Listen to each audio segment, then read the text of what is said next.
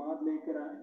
अदम एतमाद नालायक नाजायज ना जायज़, ना अहल सेलेक्टेड वज़ीर आज़म के खिलाफ।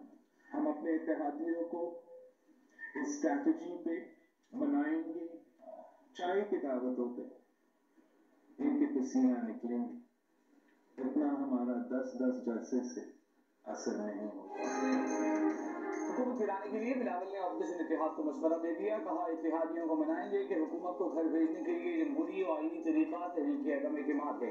जब अपनी हुकूमत अमली पर इतिहादियों को मना लेंगे तो हमारी चाय की दावत से भी हुकूमत इतना घबरा जाएगी जितना दस दस जलसों से नहीं घबराती।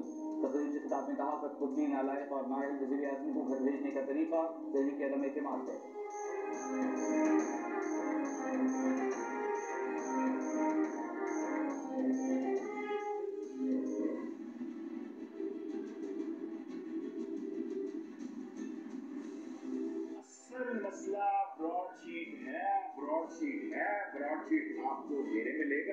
पनामा प्लस है पनामा टू है ब्रॉडशीट से जो कुछ निकलने जा रहा है वो इनको डिबेट में लेगा हंड्रेड मिलियन की प्रॉपर्टी मूंडी की ब्रॉडशीट में आ सकती है और ये आएगी यूएई में और सऊदी अरब में और लंदन में ये इवन फील के अलावा शेख अजमत साहब ने वॉल्यूम टेन पड़ी हुई है ये खबर काफ़ी है आपके लिए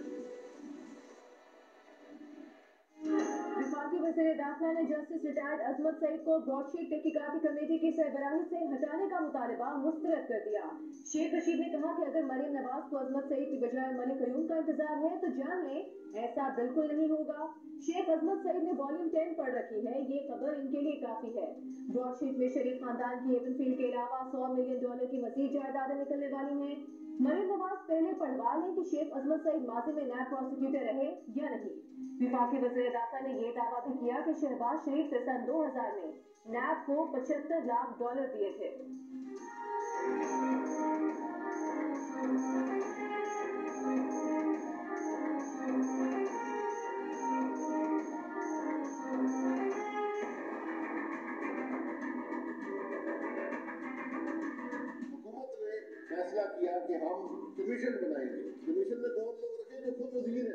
आज इम्तिहान अजमत सईद साहब का है।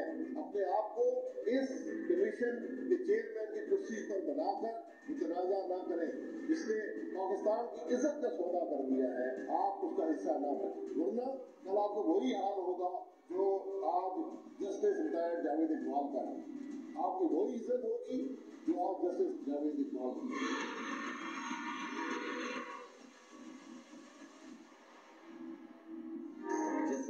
अहमद सईद शेख ब्रॉडशीट कमेटी की सरबराही कबूल न करें, वरना उनका भी वही हाल होगा जो जस्टिस रिटायर्ड जावेद इकबाल का हुआ है। सबक वज़ीर अजम शाहिद खान अब्बासी का इंतबा सीनियर नायब सदर नूर ने कहा, पाकिस्तान के अवाम सियासी इंजीनियरिंग के लिए इस्तेमाल होने वालों को कभी माफ़ नहीं करते। अदलिया जजों और सबक जजों का एहतराम है, मगर एहतराम उन्हीं का होगा जो खुद को इसका अहल साबित करेंगे।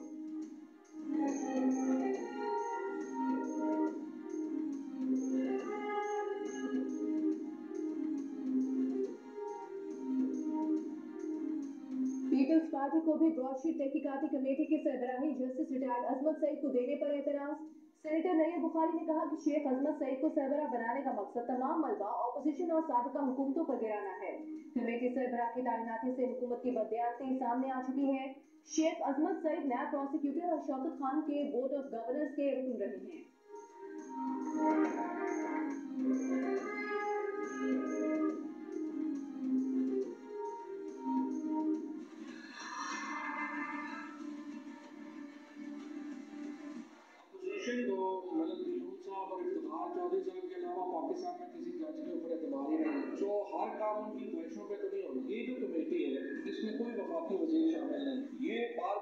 बात करना कि पाकिस्तान में कभी पोलिटिकल इंस्टेबिलिटी नहीं आ सकती जब तक आप हमारे साथ एनआरओ ना करें, एक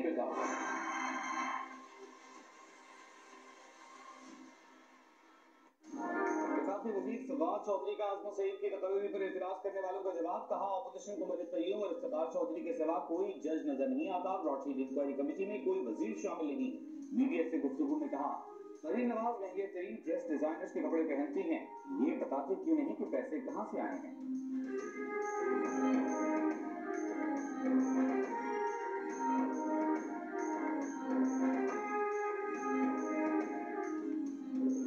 शहर बैंक सूद सात फ़ीसद आरोप बरकरार रखने का फैसला। गवर्नर स्टेट बैंक ने कहा मुस्तबिल करीब में शहर सूद इसी तरह सतह पर बरकरार रह सकती है। मुआशी हालत जून 2019 के मुकाबले में बहुत बेहतर है। महँगाई की शरह सात से नौ फ़ीसद रहने का इम्कान है। बिजली के लिए बढ़ने पर महँगाई में इजाफे का खदशा है।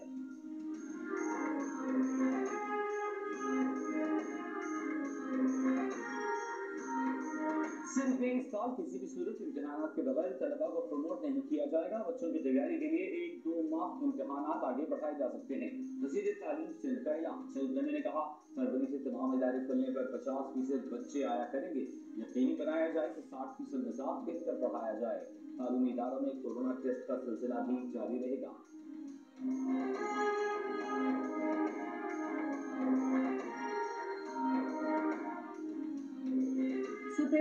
हमजा शहबाज की दरखास्त जमानत अदालत के एतराज़ के बाद वापस ले ली गई। अदालत ने हमजा शहबाज के वकील से सवाल किया, आप केस मेरिट पर लड़ना चाहते हैं या हार्डशिप की बुनियाद पर? हाई कोर्ट में हार्डशिप का ज़िक्र नहीं किया तो सुप्रीम कोर्ट कैसे ये मसला देख सकती है? हमजा के वकील ने कहा कि हाई कोर्ट में दरखास्त के वक्त गिरफ्तारी को एक साल से कम अरसा हुआ था, जिसके बाद हार्डशिप का ग्राउंड नहीं बनता था। अदालत ने रिमार्क स्टे मुनासिब होगा, हाई कोर्ट से रुजू किया जाए। मीडिया से गुफ्तगू में नून लीग के अताउल्ला तारक का कहना था। उम्मीद है हाई कोर्ट से हमजा शहबाज को जमानत मिल जाएगी।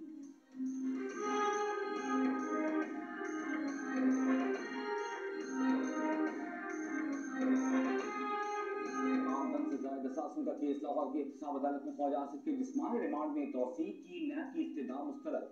आसिफ को चौदह रोजा जुडिशल रिमांड पर जेल भेज दिया। नैब पर प्रोसिक्यूटर के मुताबिक ख्वाजा आसिफ ने बताया कि तनख्वाह रेस्टोरेंट की आमदनी एक सौ छत्तीस बिलियन है। ख्वाजा आसफ के जाती अकाउंट्स में भी करोड़ों रुपए जमा हुए। ख्वाजा आसिफ के वकील का कहना था कि नैब तफ्तीश मुकम्मल कर चुका है। सारा रिकॉर्ड पहले ही नैब के पास है।